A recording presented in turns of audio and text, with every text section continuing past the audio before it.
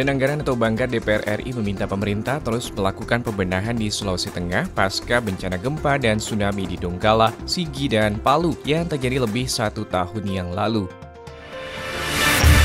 Menghadapi perubahan cuaca yang ekstrim dan potensi bencana alam yang mengancam masyarakat Indonesia, Komisi 5 DPR RI mendorong pemerintah memprioritaskan anggaran untuk pembangunan infrastruktur mitigasi bencana. Anggota DPR RI meminta Badan Meteorologi, Klimatologi, dan Geofisika atau BMKG mengoptimalkan alat early warning system yang terpasang di seluruh Indonesia, mengingat Indonesia mulai memasuki musim pancaroba.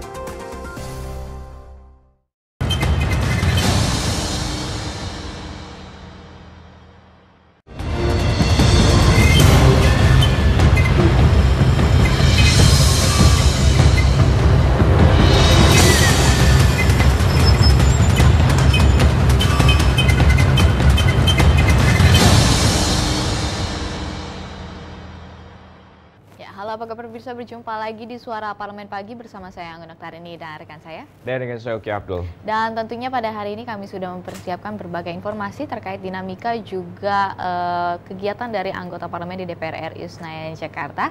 Tepat pada 18 November 2019 ini kami sudah menyiapkan topik utama mengenai duka di bumi Maluku Utara. Ya kalau misalnya mendengar terkait dengan bagaimana nih berita atau informasi seputar BMKG uh, eh, atau beberapa hari belakangan ini sejumlah daerah di tanah air yang dilanda gempa bumi seperti itu. Nanti kita akan uh, membahasnya bersama dengan narasumber dan uh, sebelumnya seperti biasa di Suara Parlemen Pagi di edisi hari ini kami akan awali dari tiga berita utama. Di yang pertama yang terkait dengan Banggar DPR RI dorong percepatan rehabilitasi pasca gempa di Sulawesi Tengah. Ini Badan Anggaran DPR RI meminta pemerintah untuk terus melakukan pembenahan di Sulawesi Tengah pasca bencana gempa dan tsunami di wilayah Donggala, Sigi, dan juga Palu yang terjadi lebih dari satu tahun yang lalu. Berikut kita simak informasi selengkapnya. Badan Anggaran atau Banggar DPR RI meminta pemerintah terus melakukan pembenahan di Sulawesi Tengah pasca bencana gempa dan tsunami di Donggala, Sigi, dan Palu yang terjadi lebih satu tahun yang lalu. Dalam kunjungan kerja spesifik ke Sulawesi Tengah baru-baru ini, Wakil Ketua Banggar DPR RI Muhyiddin Muhammad Said mengatakan masih banyak fasilitas umum dan sekolah-sekolah yang belum tersentuh, bahkan ada masyarakat yang masih tinggal di rumah yang terdampak bencana. Muhyiddin menambahkan perlu adanya upaya-upaya yang harus ditempuh pemerintah untuk mengurangi resiko bencana alam, karena Provinsi Sulawesi Tengah memiliki resiko bencana dan perubahan iklim yang cukup tinggi. Terutama menyangkut masalah rekonstruksi dan rehabilitasi yang sudah menjadi salah satu program pemerintah baik daerah maupun pusat. Ini yang harus kita tanggulangi sesegera mungkin untuk mengembalikan ya semangat kembali eh, masyarakat sini sehingga mereka bisa beraktivitas kembali untuk eh, untuk mengembangkan usahanya. Sementara itu, anggota Banggar DPR RI Eki Awal Muhara mengatakan harus ada keberpihakan negara terhadap hutang para korban bencana alam di Sulawesi Tengah. Eki memaparkan banyak debitur yang bingung karena masih harus membayar angsuran bank maupun kredit, seperti kredit rumah, usaha, serta kendaraan. Padahal harta benda mereka sudah habis terkena bencana. Agunannya sudah tidak ada, harusnya uh, tidak ada lagi dia dikenakan ditagih ya. Kalau bisa perlu dihapuskan dan dijaminkan dengan, dengan asuransi Askrindo atau Jamprindo begitu. Dari Sulawesi Tengah, Nur Fuad, TVR Parlemen melaporkan. Ya, hal tersebut dikemukakan oleh Wakil Ketua Badan Anggaran DPR RI Muhyiddin Muhammad Said yang menilai masih banyak fasilitas umum dan sekolah yang belum tersentuh, bahkan ada masyarakat yang masih tinggal di rumah terdampak Sementara itu, anggota Banggar Eki Awal Muharam juga menegaskan negara harus memiliki keberpihakan atas hutang para korban bencana alam di Sulawesi Tengah. Sebab banyak debitor yang bingung karena masih harus membayar angsuran padahal harta benda mereka ini telah habis terkena bencana. Ini tidak terasa satu tahun yang lalu bencana gempa dan juga tsunami di wilayah Sulawesi Tengah tepatnya di Donggala, Palu dan juga Sigi menimpa wilayah tersebut dan sampai sejauh ini masih ada sejumlah masyarakat yang juga mungkin masih berharap uh, bantuan dari uh, negara atau juga pemerintah untuk akhirnya bisa membangun sejumlah fasilitas umum di antaranya tadi adalah sekolah dan juga sejumlah fasilitas umum lainnya yang belum tersentuh. Betul sekali, Oke, dan ada beberapa media di sini yang membahas terkait dengan carut marutnya pembangunan infrastruktur juga uh, stabilitas mengenai perbaikan dari Sulawesi Tengah sendiri. Baik, masih di berita yang sama terkait dengan infrastruktur mitigasi bencana terus dibangun di sini Komisi 5 DPR RI mendorong pemerintah memprioritaskan anggaran untuk pembangunan infrastruktur mitigasi bencana, terutama dalam menghadapi perubahan cuaca yang ekstrim serta potensi bencana alam lainnya yang mengancam masyarakat Indonesia. Dan berikut informasi selengkapnya. Menghadapi perubahan cuaca yang ekstrim dan potensi bencana alam yang mengancam masyarakat Indonesia, Komisi 5 DPR RI mendorong pemerintah memprioritaskan anggaran untuk pembangunan infrastruktur mitigasi bencana. Ditemui di Gedung Nusantara DPR RI Jakarta beberapa waktu lalu, Ketua Komisi 5 DPR RI Lasarus menyampaikan, Komisi 5 DPR RI akan mengawasi dan mendorong penggunaan anggaran kementerian dan lembaga yang menjadi mitra kerja Komisi 5 agar diprioritaskan untuk melakukan pembangunan infrastruktur sesuai kebutuhan dan tepat sasaran, termasuk infrastruktur mitigasi bencana sehingga ketika terjadi bencana alam bisa meminimalisasi kerugian dan korban. Jadi mitra kerja Komisi 5 itu tidak berubah. Tentu tugas kami adalah uh, uh, sama tugas fungsi, fungsi DPR pokok ya, tugas uh, legislasi, anggaran dan uh, pengawasan. Anggota Komisi 5 DPR RI Irwan juga mendorong pemerintah memprioritaskan pembangunan untuk infrastruktur mitigasi bencana dan melakukan pencegahan terhadap potensi bencana yang bisa diprediksi akan terjadi di sejumlah daerah, dibandingkan mempersiapkan anggaran untuk penanganan dan pengelolaan pasca bencana. Karena sebenarnya eh, lebih baik eh, persiapan anggaran, program dan lainnya itu lebih pada penekanan kemitigasinya daripada eh, apa namanya eh, pengelolaan bencananya sehingga harusnya dengan iklim Indonesia yang jelas hanya hanya dua musim ya musim kemarau musim hujan harusnya kita juga lebih siap menghadapi beberapa bencana-bencana yang sudah menjadi sejarah bangsa ini ya termasuk misalnya banjir kemudian gempa. Ferdian dan Teguh, TVR Parlemen melaporkan. Dan di sini ada Ketua Komisi 5 DPR RI, harus mengatakan Komisi 5 meminta kepada para mitra kerjanya untuk memprioritaskan pembangunan infrastruktur sesuai kebutuhan dan tepat sasaran, termasuk infrastruktur mitigasi bencana sehingga kerugian dan korban dapat diminimalisir ketika bencana alam terjadi kembali. Sementara itu, anggota Komisi 5 DPR RI Irwan pun mendorong pemerintah menempatkan pembangunan infrastruktur mitigasi bencana sebagai prioritas dan melakukan pencegahan atas potensi bencana yang diprediksi akan terjadi di sejumlah daerah dibandingkan mempersiapkan anggaran untuk penanganan dan pengelolaan pasca bencana. Tapi kalau misalnya kita mengetahui di sini hmm. ada beberapa yang eh, kehilangan baik dari infrastruktur maupun fasilitas umum lainnya seperti sekolah dan lain lain-lain itu sepertinya membutuhkan sekali kerjasama antar kementerian Uki karena Betul. dari masing-masing kementerian harus mempersoalkan ini menjadi prioritas jika ingin cepat diselesaikan. Ya ini kita beralih masih seputar terkait dengan bagaimana bencana ini early warning system harus dioptimalkan. Masuki musim pancaroba anggota DPR RI ini meminta Badan Meteorologi, Klimatologi, dan juga Geofisika untuk mengoptimalkan alat early warning system yang terpasang di seluruh Indonesia. Berikut kita simak informasi selengkapnya.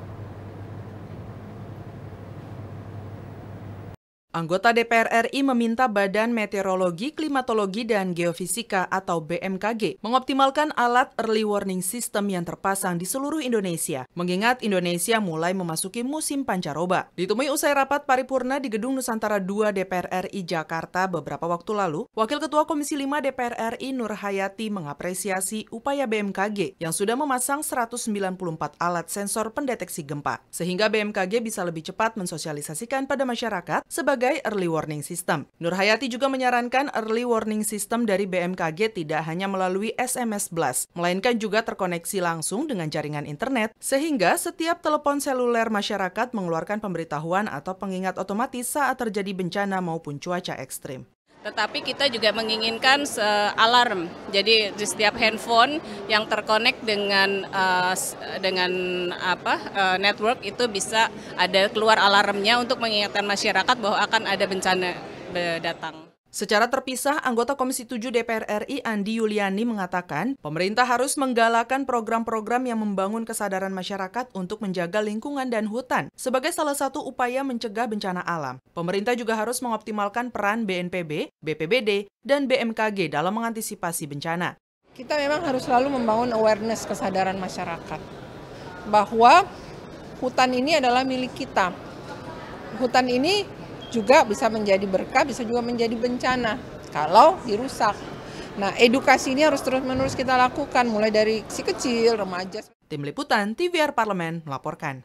Ya, Wakil Ketua Komisi 5 DPR RI Nur Hayati ini mengapresiasi upaya BMKG yang telah memasang 194 alat sensor pendeteksi gempa sehingga BMKG bisa lebih cepat mensosialisasikan kepada masyarakat. Ia pun mengusulkan agar early warning system tidak hanya melalui SMS blast tetapi juga terkoneksi dengan jaringan internet sehingga penyebaran peringatan bencana semakin cepat dan juga luas. Sementara itu anggota Komisi 7 DPR RI Andi Yuliani Paris mengatakan pemerintah harus menggalakkan program-program yang membangun kesadaran masyarakat untuk menjaga lingkungan sebagai salah satu upaya mencegah bencana alam sekaligus mengoptimalkan peran BNPB, BPBB, BPBD, dan juga BMKG dalam mengantisipasi bencana. Kalau misalnya membahas terkait dengan bagaimana sebenarnya alat-alat yang sudah kita mhm. miliki yang dimiliki oleh BMKG, BNPB, ataupun juga BPBD di sejumlah daerah tanah air yang rawan bencana, hmm. ini sudah lengkap, tapi mungkin beberapa terkait dengan sosialisasi maupun juga kesadaran masyarakat, ini kadang-kadang juga ada yang dicuri sehingga seharusnya bisa digunakan ataupun juga bisa bermanfaat untuk bisa memberikan informasi terkait dengan early warning system terkait dengan sejumlah bencana gempa dan lain-lain hmm. ini uh, jadi tidak bisa uh, dimanfaatkan dengan baik seperti itu. Betul sekali Uki. Dan pemirsa kita sudah bahas uh, tiga berita pilihan untuk mengawali berita kita pada hari ini. Jangan ke mana-mana tetap saksikan suara parlemen.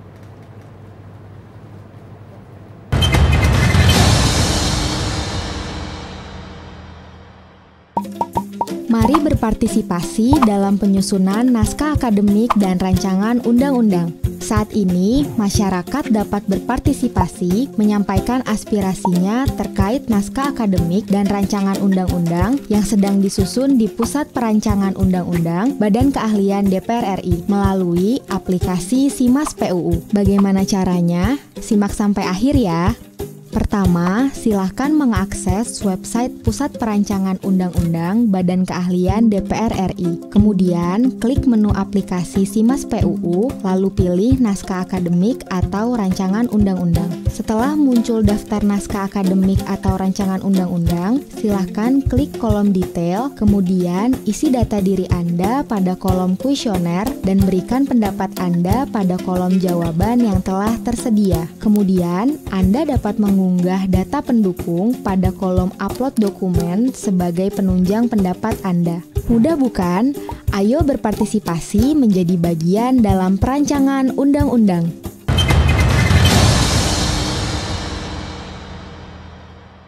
Ya, terima kasih pemirsa masih di Suara Parlemen dan kali ini kita memasuki di headline surat kabar. Mm -hmm. Ini kalau misalnya Anggun sudah mm -hmm. ada di harian di, apa Anggun? Di, di tangan saya sudah ada koran Tempo, ada Kalau berbagai. saya ada di harian Kompas yang terbit pada hari Senin 18 hmm. November 2019 ini misalnya uh, mungkin ini kemarin baru saja digelar Gun hmm. ada uh, lari di Borobudur Marathon 2019 ini yang diselenggarakan di uh, Candi Borobudur seperti itu ya hmm. ya acara tahunan tapi kalau misalnya tidak selengkapnya kita akan membaca apa saja menjadi headline surat kabar pastikan Anda jangan ke mana-mana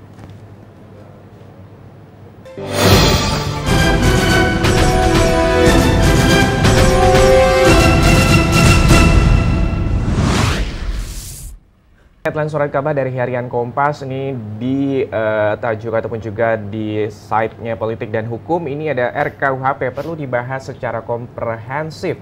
Pembahasan rancangan Kitab Undang-Undang Hukum Pidana atau RKUHP yang akan masuk dalam program legislasi nasional 2020 ini perlu dilakukan secara komprehensif dengan membuka konsultasi terbuka lintas sektor Pemerintah dan DPR periode 2019-2024 pun dipastikan akan kembali membahas isi dari RKUHP. Detail terkait dengan pembahasan rencananya akan dibicarakan dalam rapat kerja perdana Komisi 3 DPR RI dengan Menteri Hukum dan HAM Yasona Lauli pada tanggal 28 November mendatang. Pembahasan ini diharapkan mampu memperjelas pasal-pasal kontroversial khususnya di bagian penjelasan agar penafsirannya tidak terkesan dalam tanda kutip karet dalam penerapannya. DPR juga akan mengadakan sosialisasi kepada sejumlah pihak baik perguruan tinggi maupun berbagai pemangku kepentingan terkait dengan rancangan undang-undang yang sudah dibahas oleh DPR RI periode lalu. Ini terkait dengan bagaimana mm-hmm. Rancangan undang-undang yang sempat kontroversial tengah masyarakat. Mungkin ada sejumlah masyarakat yang merasa ini tidak sesuai ataupun juga sejalan ataupun juga pasal-pasal dalam rancangan undang-undang tersebut uh, dalam tanda kutip karet jadi sehingga bisa menjerat sejumlah hmm. masyarakat yang nantinya bisa uh, dipenjara seperti itu. Betul dan ada beberapa juga pasal-pasal yang mungkin bersif, uh, bersifat ini tumpang tindih yang juga hmm. bisa merugikan pihak dari masyarakat juga. Dan pemirsa kita beralih ke berita berikutnya uh, terkait ya, dengan terkait dengan ini di harian Tempo ya, Anggun. Betul, mengenai pemerintah daerah tak berdaya atasi pencemaran. Pemerintah daerah Sidoarjo terkesan tak berdaya mengatasi pencemaran lingkungan di Desa Tropodo, Kecamatan Krian, Sidoarjo, Jawa Timur. Pemerintah mengklaim sudah melakukan berbagai upaya, namun pencemaran uh, di sini akibat pembakaran limbah plastik tetap tinggi. Kepala Dinas Lingkungan Hidup dan Kebersihan Sidoarjo, Sigit Setiawan, mengatakan pemerintah daerah telah berulang kali mengingatkan perusahaan e, tahu agar menggunakan kayu sebagai bahan bakar, akan tetapi mereka tidak mengindahkan hal tersebut dan beralasan bahwa limbah plastik lebih murah dan mudah didapatkan. Sigit pun menambahkan pemerintah daerah tidak bisa bertindak sendiri mengatasi pencemaran lingkungan akibat pembakaran limbah plastik ini. Sebab menurut Sigit di sini bukan hanya kewenangan pemerintah daerah tetapi juga pemerintah pusat terutama untuk urusan impor limbah plastik. Ya ini terkait dengan bagaimana kalau misalnya membahas terkait dengan uh, banyak pabrik mm -hmm. ataupun juga usaha-usaha yang membuang limbah secara sembarangan mm -hmm. melalui ataupun juga aliran sungai ini juga mungkin harus diwaspadai dan juga diantisipasi oleh pemerintah pusat maupun juga pemerintah daerah untuk akhirnya bisa memberikan uh, terkait dengan peraturan ataupun juga sanksi yang tegas Betul, pada sejumlah perusahaan-perusahaan yang nantinya membuang hmm. limbah secara sembarangan. Dan pemirsa, Anda bisa membaca secara lebih lengkap kembali di harian surat kabar Tempo dan juga Kompas yang terbit pada hari Senin ini. Kami nanti akan kembali dengan topik utama, pastikan Anda jangan ke mana-mana, tetap saksikan Suara Parlemen Pagi.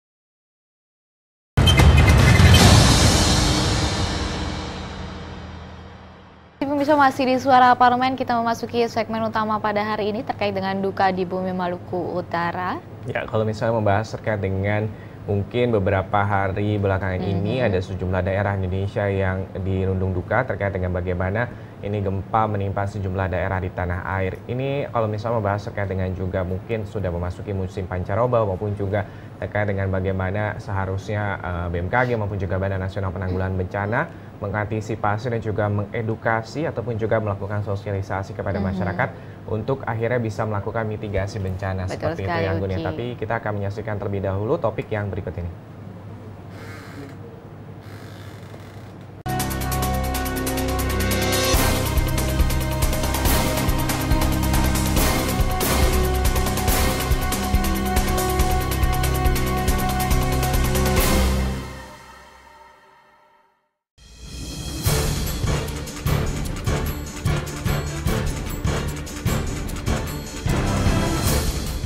Tarif di 2020.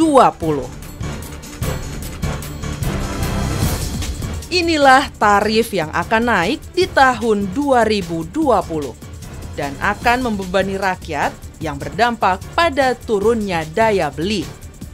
Jika daya beli turun terus-menerus, maka pertumbuhan ekonomi tidak akan bisa mencapai target.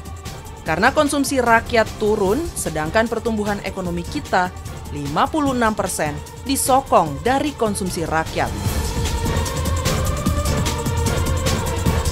Kenaikan itu seperti tarif jalan tol, BPJS Kesehatan, produk hasil tembakau, plastik, sesuai dengan pernyataan Menteri Keuangan Sri Mulyani Indrawati yang mengusulkan tarif untuk cukai plastik sebesar Rp30.000 per kilogram. Sedangkan untuk per lembar tarif cukainya akan dikenakan Rp200.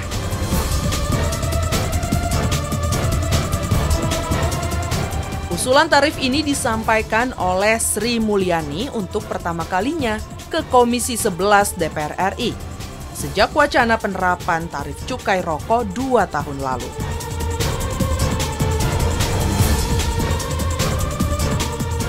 Tarif listrik dengan menghapus subsidi untuk pelanggan listrik rumah tangga mampu menjadi 900 volt ampere mulai tahun depan. Sementara itu, barang-barang elektronik sudah sepi pembeli karena daya beli menurun. Sehingga kondisi ini menyebabkan perusahaan elektronik menderita. Apalagi dengan perubahan gaya hidup masyarakat yang mengakibatkan toko-toko retail tutup dan pengangguran menjadi naik.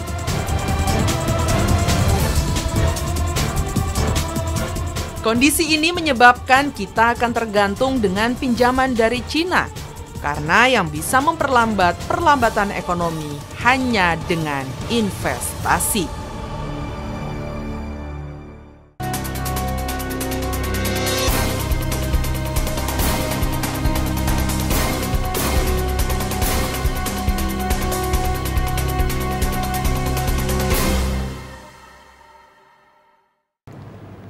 Warga di kota Ternate, Maluku Utara berlarian keluar rumah usai gempa bermagnitudo 7,1 mengguncang pada hari Kamis 14 November, tepat di jam 11 malam dan menurut Badan Meteorologi, Klimatologi, dan Geofisika, hingga Jumat 15 November 2019 pukul 2 eh, malam hari, terjadi 19 kali gempa susulan pasca gempa bermagnitudo 7,1 di Jailolo, Maluku Utara.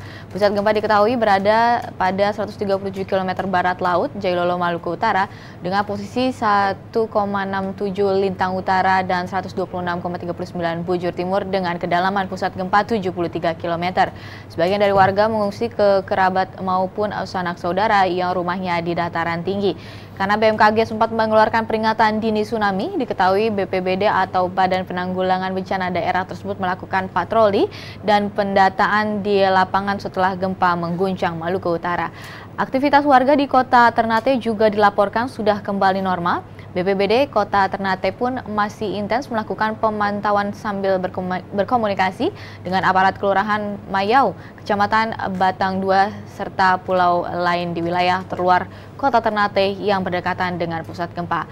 Aparat setempat pun masih mendata kerusakan akibat gempa BNPB Mencatat ada dua orang di Kecamatan Batang II, Kota Ternate yang terluka akibat gempa. Di sini di Ternate, gempa menimbulkan kerusakan ringan pada enam rumah dan dua gereja. Gempa Maluku masih menimbulkan trauma setelah gempa sebelumnya mengguncang Ambon, Maluku pada magnitudo 6,5 skala Richter pada 26 September 2019 lalu. Ya, ini masih ada trauma yang dirasakan oleh masyarakat di wilayah Ambon, Maluku karena sebenarnya atau mencuri sejatinya pada 26 September 2019 lalu juga terengah digencang gempa hmm. bermagnitudo 6,5 skala Richter. Ini kalau misalnya gempa Ambon September lalu ini menyebabkan 12.137 unit bangunan dan rumah rusak berat dan menyebabkan 23 korban jiwa. Masyarakat pun hingga saat ini masih banyak yang mengungsi.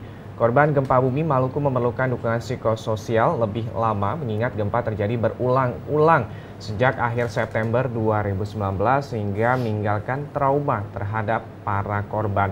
Dan nanti kami akan membahasnya bersama dengan anggota DPR dan juga uh, peneliti lingkungan tapi juga mm -hmm. lingkungan. Dan pemirsa pastikan Anda jangan ke mana-mana, tetap saksikan suara parlemen pagi.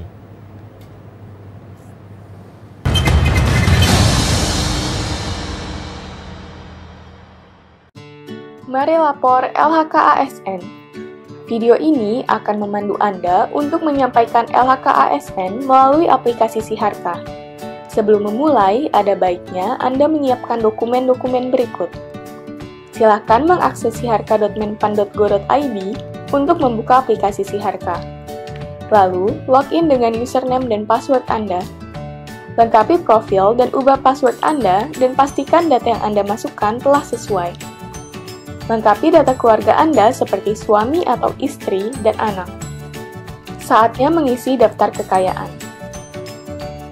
Harta tidak bergerak adalah harta berupa tanah dan bangunan yang didukung dengan bukti kepemilikan dan nilainya ditetapkan berdasarkan NJOP. Harta bergerak adalah harta selain tanah dan bangunan seperti kendaraan bermotor, perabotan rumah tangga, perhiasan, dan lain-lain dengan nilai berupa harga perolehan atau harga tafsiran.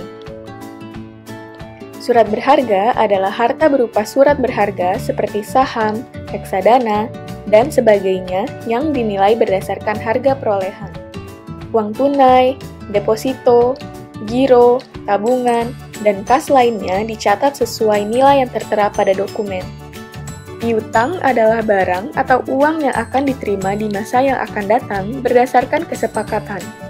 Dan hutang adalah pinjaman yang diterima oleh ASN pelapor maupun suami atau istri dan tanggungan lainnya dari pihak lain yang pembayarannya menjadi tanggung jawab ASN pelapor. Penghasilan yang wajib dilaporkan pada LHKASN adalah penghasilan dari jabatan, penghasilan dari profesi atau keahlian, penghasilan dari usaha lainnya, penghasilan dari hibah atau lainnya, penghasilan dari istri atau suami yang bekerja. Sedangkan pengeluaran yang dicatat adalah perkiraan pengeluaran rumah tangga dan rutin lainnya, seperti listrik, air, transportasi, dan biaya hidup lainnya, serta pengeluaran untuk rekreasi, asuransi, biaya pengobatan, dan sebagainya. Anda telah menyelesaikan pengisian LHKASN. Anda dapat memilih kirim ke inspektorat jika laporan telah sesuai, atau memilih edit jika masih perlu dilakukan perbaikan.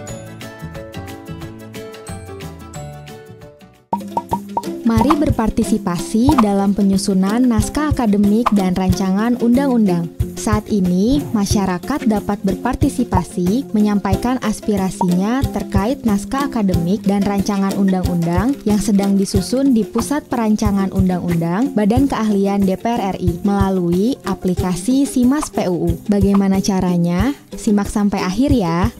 Pertama, silahkan mengakses website Pusat Perancangan Undang-Undang Badan Keahlian DPR RI. Kemudian, klik menu aplikasi SIMAS PUU, lalu pilih naskah akademik atau rancangan undang-undang. Setelah muncul daftar naskah akademik atau rancangan undang-undang, silahkan klik kolom detail, kemudian isi data diri Anda pada kolom kuesioner dan berikan pendapat Anda pada kolom jawaban yang telah tersedia. Kemudian, Anda dapat mengunggah mengunggah data pendukung pada kolom upload dokumen sebagai penunjang pendapat Anda. Mudah bukan? Ayo berpartisipasi menjadi bagian dalam perancangan undang-undang.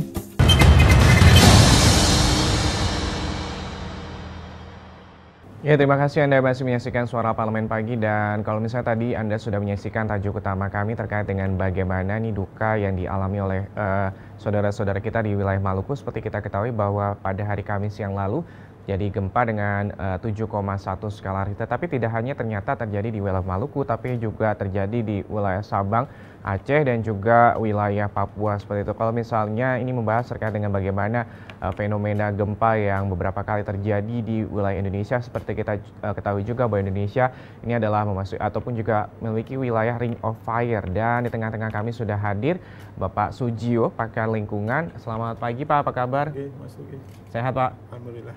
Alhamdulillah sehat ya Pak. Kalau misalnya kita langsung masuk dalam tema ataupun juga topik pembahasan kita pada pagi hari ini nih Pak Sunjio terkait dengan bagaimana uh, gempa yang terjadi di wilayah Maluku ini cukup besar uh, 7,1 skala Richter.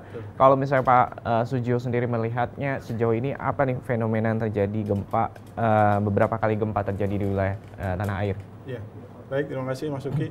Jadi uh, seperti kita tahu bahwa wilayah kita uh -huh. itu berada di zona Ring of Fire. Uh -huh. Jadi kita ini sebenarnya senasib dengan Jepang. Uh -huh. Ya, kita berada di satu uh, wilayah bencana, bencana. Jadi uh, ini memang harus perlu penanganan uh, yang sangat komprehensif, uh -huh. uh, serius uh -huh. dari uh, semua aspek. Kita bisa meniru Jepang mungkin cara hmm. menanganinya mereka sudah sangat uh, familiar dari sisi pemerintah, masyarakat, dan juga uh, lembaga organisasi yang menangani masalah gempa itu. Oke, kalau misalnya melihat uh, tadi uh, Bapak katakan dengan fire dan juga misalnya kalau misalnya sejauh ini uh, bagaimana sebenarnya uh, early warning system ataupun juga pencegahan ataupun juga bagaimana sistem yang sudah ada di tanah air apakah sudah cukup untuk akhirnya bisa memberikan informasi kepada masyarakat terkait yeah. dengan Betul. Jadi se seperti saya bilang uh, dari awal tadi bahwa kita harus meniru Jepang. Kita sistem uh, informasi bencana atau uh, warning system kita masih belum uh, maksimal kita manfaatkan. Mm-hmm. sekarang sudah mulai mengarah uh, ke situ. Uh, kami dengar juga uh, dari Komisi 5 kalau nggak salah DPR uh, sudah mulai uh, memerintahkan agar uh, bekerja sama dengan para provider hmm. uh, di uh, apa jaringan telekomunikasi. Jadi kalau di, di katakanlah saya sekali lagi saya ambil contoh di Jepang. Di Jepang itu beberapa detik sebelum uh, terjadi uh, gempa itu hmm. semua ponsel secara otomatis langsung berbunyi. Bunyinya itu keras, baik ponsel sedang di silent, sedang uh, tidak aktif itu otomatis akan bunyi. Bunyinya itu uh, luar biasa kerasnya. Okay. Jadi pada uh, pada volume yang maksimal. Nah dengan itu uh, masyarakat uh, penduduk itu masih punya kesempatan sekitar 3 atau 5 detik untuk uh, mencari tempat pelindungan.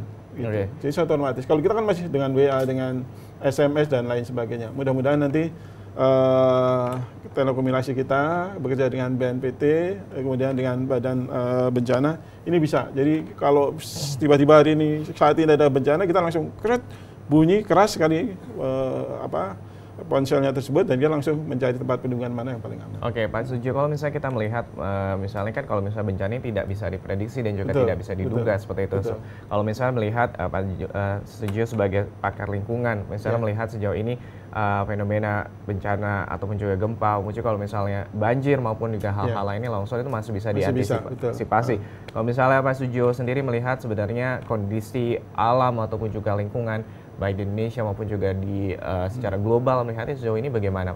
Ya, memang gempa bumi ini sangat spesifik, uh, banjir bisa kita prediksi, kemudian kalau gem, apa katakanlah uh, gunung meletus bisa hmm. kita prediksi, longsor mungkin juga bisa, kita masih punya waktu beberapa saat untuk mencari tempat yang aman. Nah, gempa ini uh, belum kita temukan uh, alat yang bisa langsung prediksi bahwa tanggal sekian jam sekian akan terjadi gempa. Kita hanya bisa uh, tadi dengan peringatan uh, dini tadi.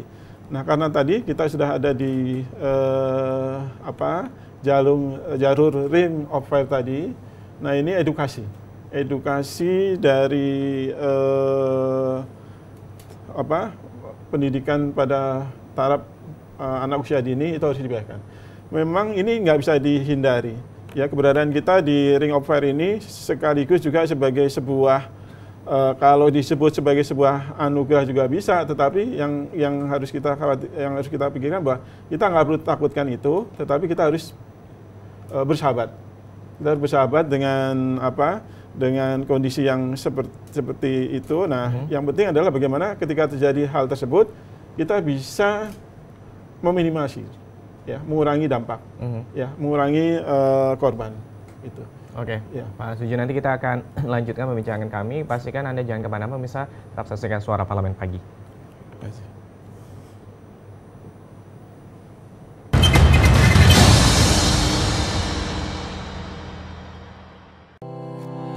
Tugas dan fungsi DPR RI sangat penting bagi negeri ini sebagai pengemban amanat rakyat.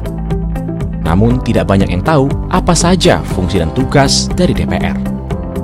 DPR mempunyai tiga fungsi pokok, yaitu legislasi, anggaran, dan pengawasan. Ketiga fungsi tersebut harus dilaksanakan dalam kerangka fungsi representasi yang mengedepankan kepentingan rakyat berdasarkan aspirasi masyarakat dan untuk kesejahteraan rakyat.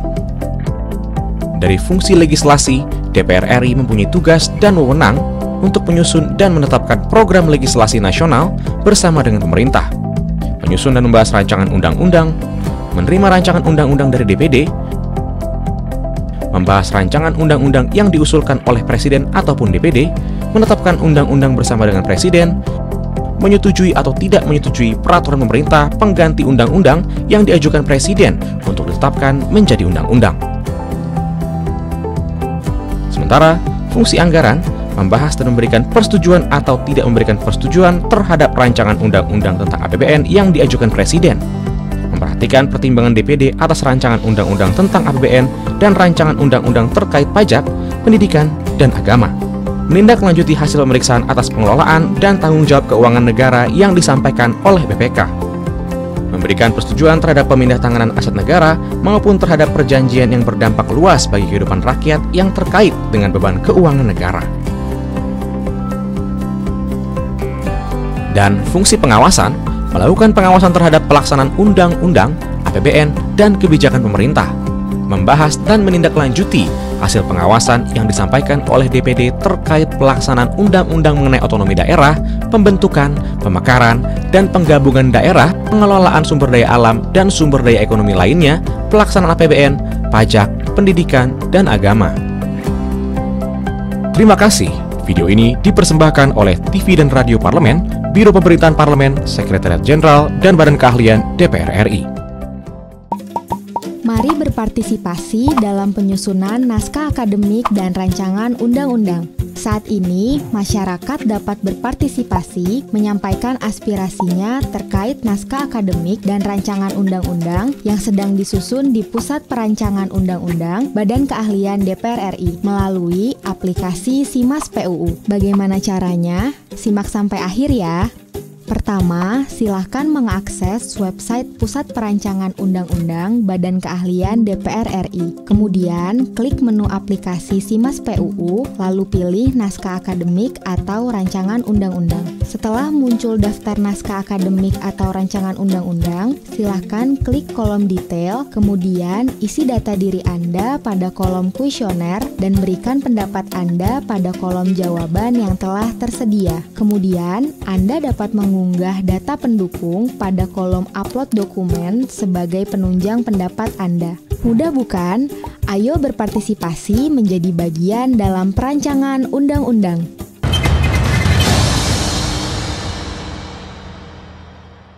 Ya, terima kasih pemirsa Anda masih menyaksikan suara parlemen pagi dan di hari ataupun juga di siang hari ini kita akan masih membahas terkait dengan bagaimana duka bencana yang uh, terjadi di saudara-saudara kita di wilayah Maluku dan tadi sudah uh, membicara bersama dengan Bapak Sujio pakar lingkungan dan juga sudah hadir tengah-tengah kita ini Bapak Aceh Hasan Sajili anggota Komisi 8 DPR RI dari fraksi Golongan Karya Daerah Pemilihan Jabar 2. Selamat pagi Pak, apa kabar? Kumaha? Pagi, Assalamualaikum. Damang? Alhamdulillah. Alhamdulillah ya Pak. Kalau misalnya ini kita tadi sudah membahas terkait dengan bagaimana uh, duka yang terjadi di, dengan saudara-saudara kita, Pak di Maluku dengan gempa 7,1 skala Richter. Kalau Pak Aceh uh, sendiri melihat uh, sejauh ini bagaimana pemerintah dalam hal ini menanggapi uh, beberapa bencana yang terjadi di tanah air, prosesnya seperti apa, Pak? Ya, uh, sejauh yang kami pantau uh mhm. -huh. terkait dengan penanganan bencana. Uh mhm. -huh pasca terjadinya bencana di Maluku dengan kekuatan yang cukup besar ya hmm. 2,1 itu memang e, relatif e, lebih cepat ya okay. untuk menangani itu. Jadi pemerintah sepertinya memang sudah terutama saya kira BNPB dan BPBD sudah punya uh, early warning system yang relatif lebih baik ya mm -hmm. dibandingkan dengan sebelum-sebelumnya. Sehingga dari situ bisa kita lihat uh, uh, korban bisa ditekan. Bisa jadi karena mungkin disebabkan karena uh, gempanya tersebut gitu ya tidak berpotensi uh, tsunami. Hmm. Tetapi uh, cara yang dilakukan oleh pemerintah dengan hmm. terutama saya kira uh, koordinasi yang sangat baik dari BMKG hmm. kemudian uh, BNPB untuk menangani uh, penanganan bencana di Maluku Utara itu relatif uh, lebih tersosialisasikan dengan baik ya. Walaupun saya kira kita harus tetap menunggu uh, penjelasan dari BNPB terkait dengan jumlah korban yang dihasilkan akibat dari bencana tersebut karena kan bukan hanya korban jiwa yang harus diperhatikan hmm. tetapi juga misalnya kerusakan-kerusakan uh, uh, rumah atau gedung akibat dari bencana tersebut gitu. Oke Pak, kalau misalnya tadi uh, kita masih menunggu data real angka jumlah uh, berapa rusak bangunan rusak dan juga berapa korban jiwa. Tapi kalau misalnya membahas terkait dengan apakah pemerintah dalam hal ini harus uh, memperpanjang masa tanggap darurat karena juga kita ketahui bahwa hingga saat ini belum ada angka pasti nih Pak terkait dengan berapa kerusakan dan juga korban jiwa. Ya uh, memang kan harus dilihat uh, penetapan uh, tanggap darurat itu kan berdasarkan atas uh, tingkat kerusakan. Hmm dari uh, bencana tersebut. Hmm. Jika memang misalnya tingkat kerusakannya sangat-sangat parah, maka pemerintah punya hak untuk memberikan uh, waktu hmm. gitu ya yang cukup panjang dalam rangka tanggap darurat tersebut gitu. Nah kalau misalnya dinilai bahwa ini telah cukup hmm. tanggap darurat itu dilakukan, maka kemudian dari situ baru menetapkan uh, apa re rehabilitasi dan rekonstruksi terhadap uh, kejadian bencana tersebut. Oh ya, melihat gitu. kembali kondisi di lapangan ya, ya. Pak Sujio kalau misalnya melihat ini masyarakat di wilayah Maluku ini uh, sebenarnya ataupun juga ada ada berita terkait dengan sebenarnya trauma terkait dengan hmm. bagaimana gempa yang terjadi karena pada September 2019 lalu juga diguncang gempa yang uh, juga berkekuatan yang tidak jauh yeah. berbeda dari yang 7,1 ini. Uh, ada sejumlah masyarakat yang trauma, jadi tidak hanya membutuhkan misalnya uh, bantuan secara moral maupun juga saya kalau misalnya membahas psikososial. Misalnya Pak Sujiyo sendiri melihatnya sejauh ini bagaimana nih Pak kalau misalnya melihat bantuan-bantuan yang sudah diberikan pemerintah sejauh ini? Yeah. Uh, untuk uh, wilayah pendidikan saya akan masuk ke situ. Uh-huh. Trauma center mungkin sudah cukup baik diterapkan oleh lembaga-lembaga uh, swadaya masyarakat uh-huh. berkaitan dengan untuk mengatasi apa trauma setelah uh, bencana uh-huh. tersebut. Tetapi yang lebih utama kita tanamkan kepada anak-anak kita dan masyarakat kita bahwa kita sudah terlanjur berada di ring of fire tadi. Uh-huh. Ini nggak bisa di relokasi ke mana hmm. ya karena kita sudah di situ artinya ya kita uh, harus berdamai dengan itu hmm. harus terbiasa dengan itu jadi uh, jangan sampai kegiatan yang uh, apa kegiatan bencana yang katakanlah berulang-berulang tersebut tidak menimbulkan dampak yang uh, lama. Oke. Okay. Gitu, ya. Kalau misalnya Pak dari Komisi 8 sendiri Pak Aceh, misalnya sejauh ini bagaimana sosialisasi mitigasi bencana yang sudah dilakukan oleh Komisi 8 bersama dengan mitra-mitra kerjanya seperti itu sejauh ini kepada masyarakat Pak? Iya memang e, kami selalu menekankan kepada baik Kementerian Sosial. BNPB ya hmm. Badan Nasional Penanggulangan Bencana yang memang menjadi leading sektor bagi penanggulangan bencana hmm. maupun Kementerian Sosial hmm. untuk melakukan upaya mitigasi ya hmm. mitigasi Uh, misalnya di BNPB kita dorong agar uh, BNPB punya uh, apa namanya berbagai program dalam konteks mitigasi bencana itu. Hmm. Yang kedua di Kementerian Sosial pun kita dorong kita meminta kepada Kementerian Sosial juga memiliki program mitigasi bencana yang lebih sistematis, okay. ya, terutama di daerah-daerah yang memang berpotensi menurut kajian akademik mm -hmm. daerah tersebut punya potensi yang besar bagi terjadinya bencana gitu. BNPB kemarin menyerahkan kepada kami ada ribuan desa gitu hmm. ya yang memang punya potensi terhadap bencana itu dan saya, kita minta kepada terutama saya kira kepada BNPB dan Kementerian Sosial. Hmm. Kementerian Sosial sendiri memiliki program namanya Kampung Siaga Bencana. Okay. Nah, itu adalah salah satu di antara program di mana program tersebut itu mendorong bagi edukasi kepada masyarakat tentang hmm. penanggulangan bencana begitu. Nah, memang yang paling penting sekarang ini pasca bencana di mana pun saya kira termasuk di Maluku itu adalah bagaimana membangkitkan kembali semangat warga uh mhm. -huh. yang terkena dampak korban tersebut agar mereka secara sosial itu bisa bangkit kembali. Uh mhm. -huh. Itu trauma healing, kemudian psikososial itu terus menerus harus dibangkitkan karena e, salah satu di antara kan kita kita kita ini kan tidak bisa menghindari bencana. Oleh hmm. karena itu bencana itu uh, oleh karena itu alam itu ya harus kita jadikan sebagai sahabat. Okay. Nah pendekatan-pendekatan hmm. seperti ini yang terus menerus dilakukan ya kita minta kepada uh, Kementerian Sosial dan BNPB agar mereka betul-betul uh, memiliki uh, pendekatan yang lebih uh, kuat mm-hmm. agar uh, uh, apa uh, mitigasi bencana itu itu menjadi salah satu di antara poin yang sangat penting. Dan terus terang saja uh, dalam beberapa kesempatan kami pun juga mendorong agar bencana itu uh, mitigasi bencana itu itu masuk dalam kurikulum sekolah kita. Oke. Okay. Gitu ya. Uh, misalnya kita tahu misalnya seperti yang kita pernah saksikan di Jepang gitu ya anak-anak dari sejak kecil sudah diajarkan tentang bagaimana saat menghadapi gempa ya? E, misalnya jangan la, dulu lari keluar tapi misalnya dia berlindung dulu di bawah meja gitu mhm. ya. E, setelah situasinya nyaman baru kemudian bisa keluar ya.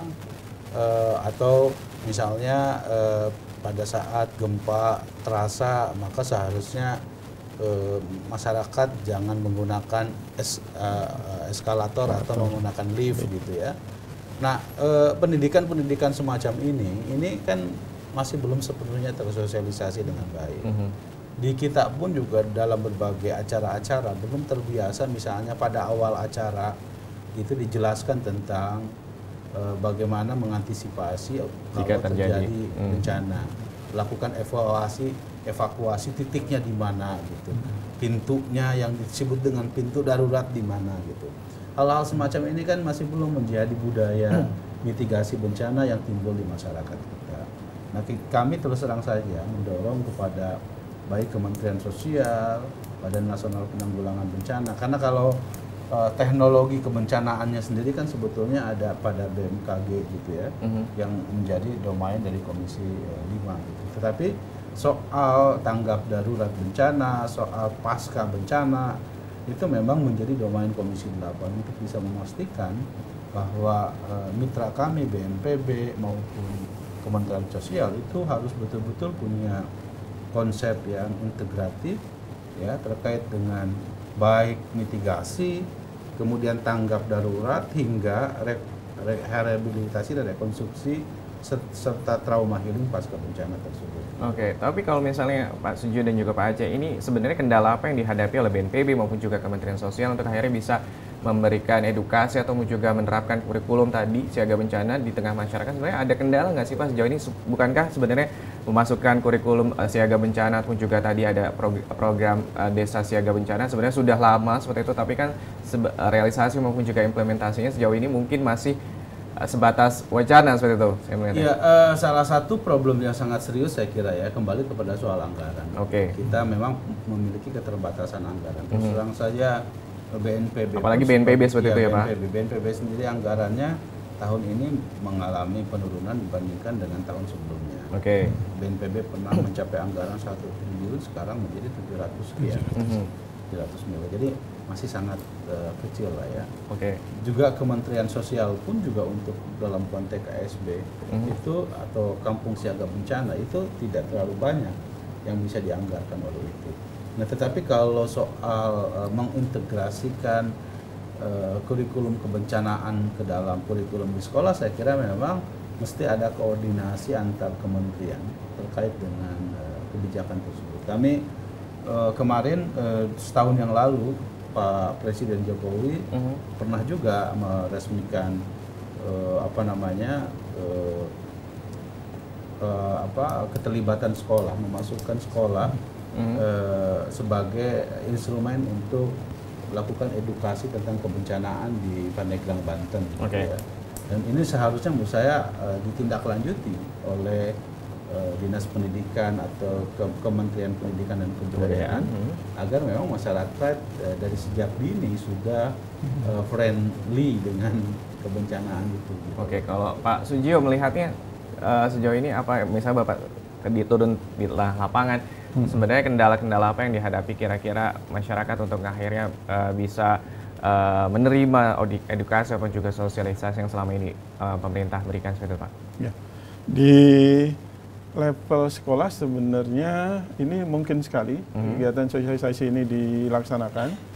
Memang uh, sesuai dengan uh, pesan uh, Presiden Jokowi, hmm. uh, kurikulum berbasis bencana, kemudian sana prasarana di lingkungan sekolah yang lebih uh, bersahabat dengan uh, bencana. Ada dua poin itu waktu hmm. uh, kebijakan beliau yang harus kita uh, sikapi dan mudah-mudahan itu nanti di uh, apa diambil, ditarik oleh uh, menteri uh, kita yang baru yang sangat uh, paham sekali dengan masalah uh, apa uh, apa uh, ponsel yang mitigasi bencana tadi. Nah itu jadi memang dari sekolah ini yang hmm. paling ini. Kendalanya sih kalau uh, sekolah itu kan cenderung mudah di apa mudah diajak, mudah uh, dihimbau. Kurikulum berbasis sekolah harus uh, kurikulum berbasis bencana harus kita canangkan. Kemudian minimal di tiap sekolah, kalau emang di tiap di tiap sekolah nggak bisa, di tiap rayon lah itu ada koordinator atau guru yang spesialis bencana. Oke. Okay. Di Jepang itu sudah ada. Setiap sekolah itu uh, ada uh, guru yang khusus tentang bencana. Jadi yang mengajari anak-anak seperti uh, Pak Aceh bilang tadi, tidak anak-anak, tapi kalau ada bencana, Anda berlari ke sana, Anda berlari ke sini, waktunya cuma sekian menit. Jadi kita kan sekarang cenderung kalau ada getaran, ada apa-apa, baik itu kita ada di gedung bertingkat, pasti sasaran utama tangga, lift, elevator itu. Padahal kan nggak gitu. Teman-teman di Jepang sudah bilang uh, sudah merasakan kalau ada bencana itu, oh bencana ya. Mereka sudah sudah nakar-nakar. Oh ini skalanya sekian. Oh ini uh, magnitudenya sampai sekian. Sehingga mereka nggak perlu ke tangga, nggak perlu ini. Ada bencana ya sudah paling selesai nanti gitu. Biasa lagi kerja lagi seperti itu. Oh, Indonesia nah, lebih instastory ya Pak? Iya betul karena sudah terbiasa dengan hal-hal seperti itu. Nah mudah-mudahan kita juga nanti juga seperti itu teman-teman. Kan kalau kita perhatikan di berita itu bencana itu semua pasien dikeluarkan dari gedung, hmm. kemudian di, di, apa, di perkantoran juga pada keluar. Sebenarnya kan enggak. Seharusnya kita sudah oh ini bencananya sekian, oh ini magnitudenya sekian, oh ini nggak akan terjadi reruntuhan. Saya tetap di gedung aja aman. Okay. Enjoy lagi, kerja lagi. Kalau kan begitu ada bencana, wah sudah ngos-ngosan turun. Ah, tadinya mau kerja jadi buyar, ah akhirnya berlibur dan lain sebagainya seperti okay. itu. Ya, Pak. Ya. Pak Aceh ini kalau misalnya ini ada pernyataan juga Pak Aceh uh, mendukung terkait dengan bagaimana upaya untuk melakukan revisi terhadap Undang-Undang 24 nomor 24 tahun 2007 tentang penanggulangan bencana. Sebenarnya uh, uh, apa yang perlu direvisi dari Undang-Undang nomor 24 tahun 2007 itu sendiri sih Pak? Secara kelembagaan memang perlu ada revisi secara hmm. uh, sistematis terutama soal penanganan bencana. Oke. Okay kita tahu bahwa penanganan bencana memang selama ini dia ada pada eh, BNPB Badan Nasional Penanggulangan Bencana. Tapi hmm. kan bencana terjadinya di daerah, di daerah sendiri BPBD itu di bawah pemerintah daerah. Oke. Okay. Jadi oleh karena itu antara fungsi koordinasi antara BP, BNPB dengan BPBD ini masih menemukan kendala-kendala serius. Pertama itu. Yang kedua, e, dari segi penganggaran selama ini anggaran uh, penanggulangan bencana itu sepenuhnya menjadi uh, domain pemerintah pusat. Hmm. Ya, sementara pemerintah daerah tidak ada keharusan untuk uh, me, apa namanya uh, penanggulangan bencana tersebut. Oleh karena itu akan diwacanakan misalnya soal bahwa di dalam uh, APBD hmm. juga harus dianggarkan secara khusus tentang bencana. Karena kita masih menemukan di daerah yang rawan bencana misalnya ya anggaran untuk penanggulangan bencana itu tidak ada. Tidak ada. Itu kan sesuatu yang ironis sekali mm -hmm. gitu ya. Uh, yang ketiga tentu kita juga perlu membicarakan juga soal kan bencana itu kan bukan hanya bencana alam tapi juga ada bencana sosial ya. Akibat dari misalnya konflik sosial itu kan juga bagian dari hal yang perlu ditanggulangi jadi eh, uh, memang masih uh, ada yang perlu disinkronkan mm -hmm. terkait dengan revisi undang-undang bencana ini mm -hmm. agar undang-undang bencana ini bisa menangani uh, apa uh, upaya kita untuk melakukan mitigasi. Sejauh ini baru usulan atau akan dibahas? Uh, kita ini kan sebetulnya periode yang lalu revisi untuk undang-undang penanggulangan bencana ini sudah masuk ke Komisi 8. Mm -hmm dan sekarang uh, kita carry over untuk periode yang sekarang masuk prolegnas Pak?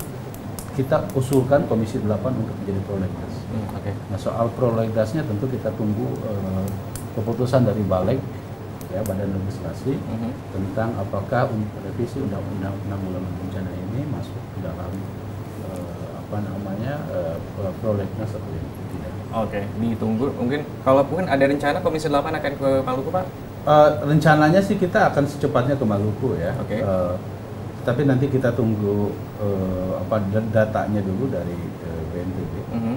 karena ini penting. Kami sih sebetulnya rencananya minggu depan itu akan ke Maluku. Oke. Okay. Tapi ya kita tunggu karena bagaimanapun kalau kami melakukan kunjungan ke sana tanpa ada data-data yang memadai tentu uh, jangan sampai mengecewakan masyarakat sendiri begitu. Oke, terima kasih Pak Aceh Hasan, Pak Sujo, ya, terima kasih. Dan pemirsa, ini terakhir sebelumnya kita berakhir, Anda bisa menyaksikan uh, agenda anggota DPR RI pada hari Senin. Ini yang bisa Anda saksikan di layar kaca televisi Anda akan dimulai pada pukul 10, Komisi 1 RDP dengan Gubernur Lemhanas, dan juga nanti Anda bisa menyaksikan secara langsung kami di juga pada akhir di pukul 14.00 Komisi 1 rapat dengan pendapat dengan Sesjen Watanas dan juga Komisi 8 rapat dengan pendapat dengan KPAI Pusat Pemantauan Pelaksanaan Undang-Undang dan juga menerima Presiden University di lantai 6 Sekjen DPR RI. Dan bisa demikianlah suara parlemen pagi edisi hari ini saya Uki Abdul beserta seluruh kerabat kerja yang bertugas pada hari ini mengucapkan terima kasih atas perhatian Anda. Wassalam.